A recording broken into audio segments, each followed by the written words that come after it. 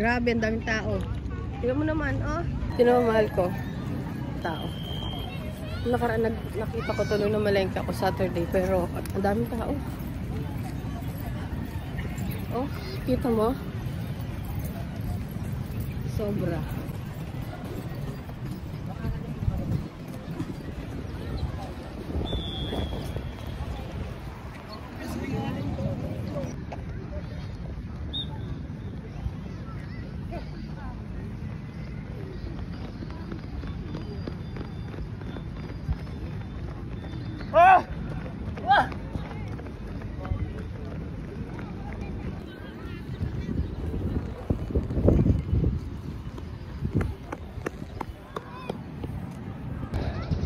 Mahal ka. Nakaapat na ako. Panlima pagbalik ko. Gamit ko yung sapatos sa pinatahi ko. Sa Quickie o Qui Kiwi. Ayan. 350. Mahal na pagkakabili nito, kaya lang natanggal na yung tukla. Ay, yung ano niya, natuklap siya sa pagkakadikit. Kaya pinatahi namin ni Mr. O, diba? 350. Pang jogging-jogging. Ako lang mag-isa ngayon. Ah, grabe, sinisipon ako. Excuse me po. Ako lang mag-isa ngayon dito. Wala akong kabanding. Wala akong kasama mag-jogging. Kasi si Mr. nasa work na. Ayan. Ganda ng sapatos ko, no? Ilang taon na rin to? Siguro mga 3 years na rin to. Nagamit ko. Pero matibay pa siya. Yun nga lang. Natanggal na yung pagkakatuklap niya kasi sa tagal na rin ata. Pero pag pinatahi naman to, matagal to, tumatagal siya ng ilang taon din. Yun nga Skechers ko nung nakaraan. Pinatahi ko pero ilang taon na rin inabot. Siguro mga limang taon. Ganun katagal nung pinatahi ko yun. Hanggang ngayon nagagamit ko pa rin. O diba, pang jogging jogging. Pwede rin kung gusto mo pamalengke. Sa mall, pwede rin kung carry mo. Maganda naman siya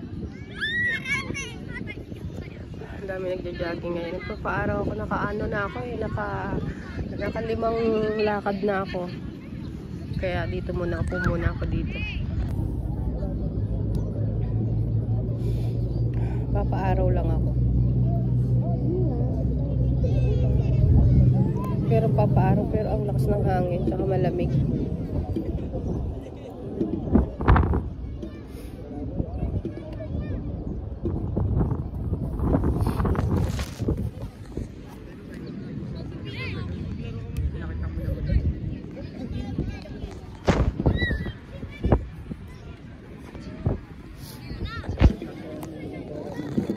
Kaya ako naglakad-lakad sa sakit ng katawan ko.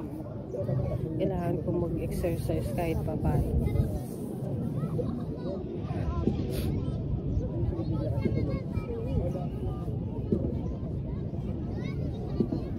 Lakas ng hangin. Nakalimang lakad na ako. Isang lakad pa, pang-anim.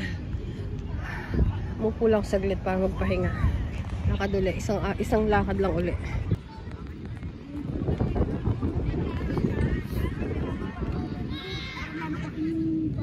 uli. Grabe, akala ko hindi ako makakapag-jogging mag-isa dito. Lakasan lang ng loob. Sabi ko kay Mr. Hindi ko kaya mag-jogging mag-isa, pero kaya pala. huwag lang ano, ang tawag dito, huwag mahiya ba. Jogging lang. Go lang para healthy.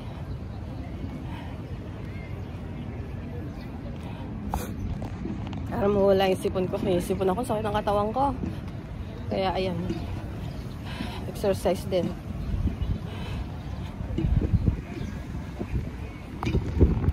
Yun, naka-anim na rin ako. Uwi na ako.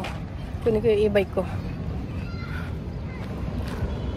Ang sarap mag-jogging, mag-exercise. Naka-anim na ikot na. Taho! Bili tayo ng taho. Kuya, magbili ng taho pagtapos ng jogging-jogging.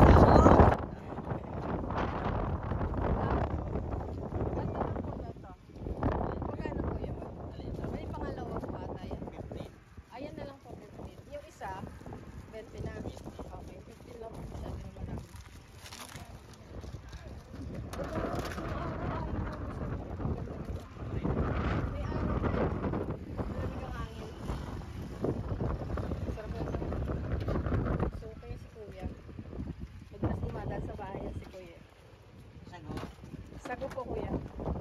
Wala yung kakain na ngayon.